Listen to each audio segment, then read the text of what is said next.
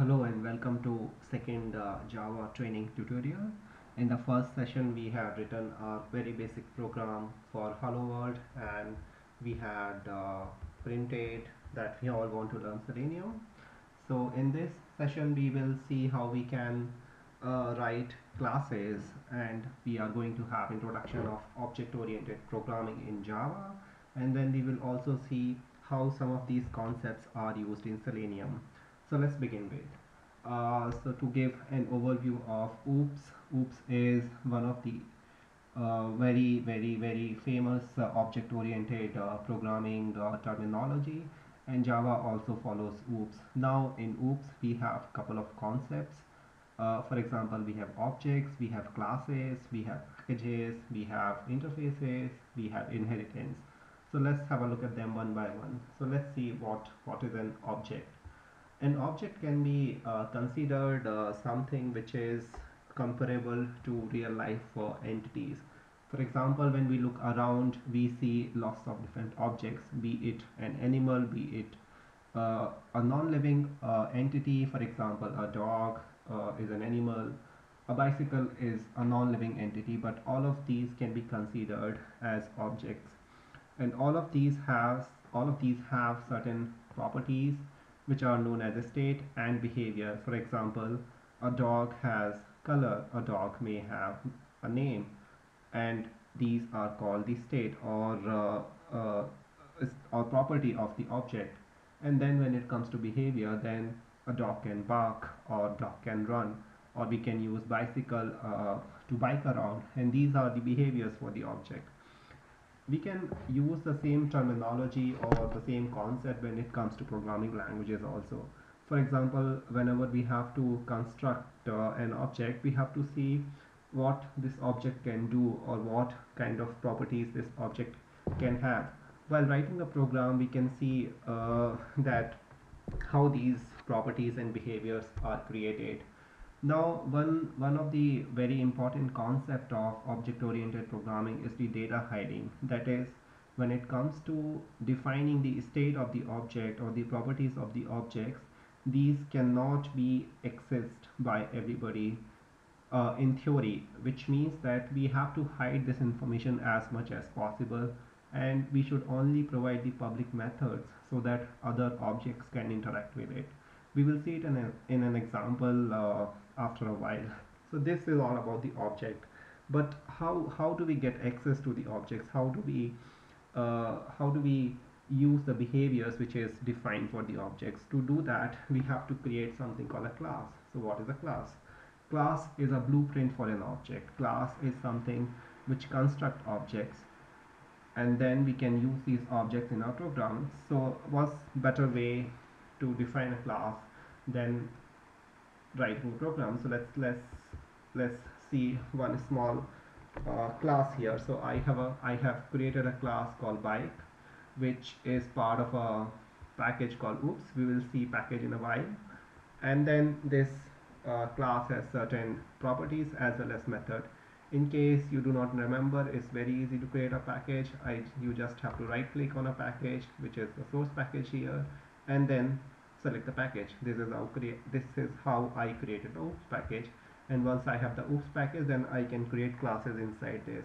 So just right click on it and say new and class and give it a class name and then you are done. So I have already created a bike class. Now let's look at the bike class. So bike class has public access accessifier which means anybody or any other class can access it. And now it has a property which is known as wheel count and then it has a method which is the driver. Uh, well this name does not seem right because method name should be a verb. So let me change it to let me rename it. Yeah let me rename it to drive not the driver. Yeah. Yeah. So method name should be a verb or the behavior should be verb. So now it looks better. Now coming back to the property of this class it is declared as private. It means that only this class or can directly access it or object of this class can uh, directly access it. No no other object can access the property called wheel count. Uh, this is called data hiding. This is one very important aspect of oops which I was talking about. That is we have to hide data as much as possible. This also provides a sort of security consider consider an example wherein we are dealing with SSN numbers or bank account numbers. So we cannot have these uh, informations being public. We have to have this information available as private and then we have certain behavior from the class which would be used to modify these properties in certain manner. Okay let's get back to our class example now. So we have a property called wheel count and then we have a public method. Its syntax is public which is access specifier. We will see more of it in upcoming tutorial. This method does not return any values or void and the name of the method is drive. The method is very simple. We are just printing a statement called run the bike. Okay, so this is our basic class with one property and one method. That's all. Now, let's see what more we can do in OOPS. So we saw object, we saw class. Let's have an uh, let's have a look at uh, something called inheritance now. So while programming, we will come across many situations wherein we see common behaviors in different classes and when it happens so then we do not want to write the same code again and again and again we want to reuse it and how do we reuse it so we do uh, we reuse the behavior by using another aspect of OOPS which is known as inheritance. So inheritance provides us the capability of inheriting methods or the behavior from different classes. Let's see it with an example. So we have a bike class but we know that we have different kinds of bikes in the world. So for example we have geared bike and we have non-geared bike. So I have created another class here which is called geared bike and the syntax is slightly different from the previous class so what we have here is we have public class gear bike and it extends the bike here extends is the keyword which is used to inherit behavior from another class. So let's go back to the bike class. So this is the bike class. And now if you see IDEA has one symbol here which says that it is subclassed by gear bike. Subclass because gear bike is a class which is inheriting properties from the bike class. So let's go back to the subclass, the gear bike. Now this gear bike has its own state which is gear count. So gear count is the count of number of gears uh, which is applicable only for gear bike. It cannot be part of bike because we may or may not have gears in a bike. And what else does this gear bike class have? In fact nothing else. It has just one main method so let us see what is happening in the main method. In the main method, we are creating an instance of gear bike class. How do we do that? We do this by writing the name of the class, then name of the instance. We can write any name here, whatever we want, then equal to, then new, which is a keyword, and then name of the class. So this is the way to create the instance of a class. So we have name of the class, name of the instance, any name, whatever we want to give, equal to, new, and then name of the class after this we have the instance or the object of the class and this is what I was referring to when I spoke of object of a class. Now we have object of the class and now we can carry out different operations on this object of the class. But now if we see what I have done here is I am calling the drive method. But where is the drive method coming from? Because in the gear bike class we do not have the drive method. And this is where inheritance comes into the picture. Because our bike class has defined the drive method. Hence or let's let's go back to the bike class and let's see it again yeah this is the bike class and here I have the drive method. Now since my geared bike class extends the bike class I have access to the prop uh, to the behavior of the bike class. Hence I can call the drive method here. So my gear bike already has the drive method. Isn't that uh, a very very very important aspect that I do not have to write the drive class uh, drive method again and again and again I can just reuse it by extending the bike class. So let's run this program.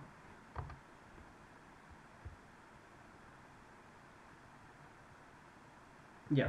So it prints a statement here which is run the bike and this statement comes from the implementation of the drive method which just prints the run the bike statement. That's all. Now this is about the class uh, sorry this is about the inheritance but there will be instances when we see that we have examples wherein the class does not have any implementation and we will see this in a while how it is in Selenium. But in that situation what do we have is a special class which does not have implementation for any of its methods. For example bike class does not have to be necessarily a class. It could be an interface. So let's let's let's define an interface now. So let's create an interface here. Yeah so this is an interface now. Now modifier private is not allowed here. So let's make it non-private. Let's remove it for time being. We don't have any such property. Okay and now we have a method which is implemented but interface cannot have any method implementation. So now we have to remove the body of it. And then we have to just add a semicolon here. So this becomes an interface now. So interface has the keyword interface. It does not have any of the implementation of the method. So it has just an empty method body. Now let's get back to the gear bike class and let's see what's happening there because bike is no more a class now it's an interface. So let's see here we have some errors here. Gear bike class can no more extend bike class so it has to implement it. So let's add keyword implement here. Okay now we have added a keyword implement but we still see some errors. These errors are there because we have not implemented the method of the bike class. If we see the bike class the drive method is no more implemented so we have to implement it in a class which is implementing the bike interface which is that class the gear bike class. So we have to implement it now. So let's click on this red bubble and select implement methods. Which method to implement? Drive. Let's say okay and here is the implementation. Well it is empty right now so we have to write it ourselves okay so I'm just writing a plain print statement here and I will say in gear bike now if you see there is an annotation here which is override. This indicates that the drive method is overridden in the gear bike class.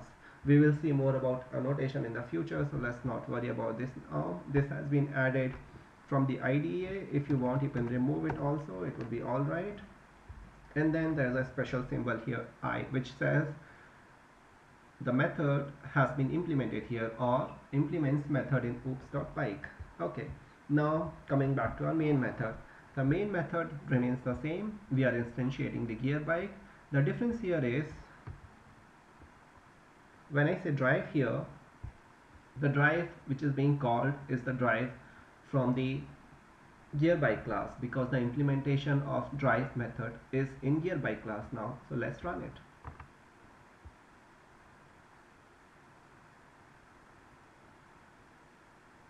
So it prints the statement which is in gear bike which is pretty obvious from here that a statement is being printed from the implementation of drive class uh, sorry drive method.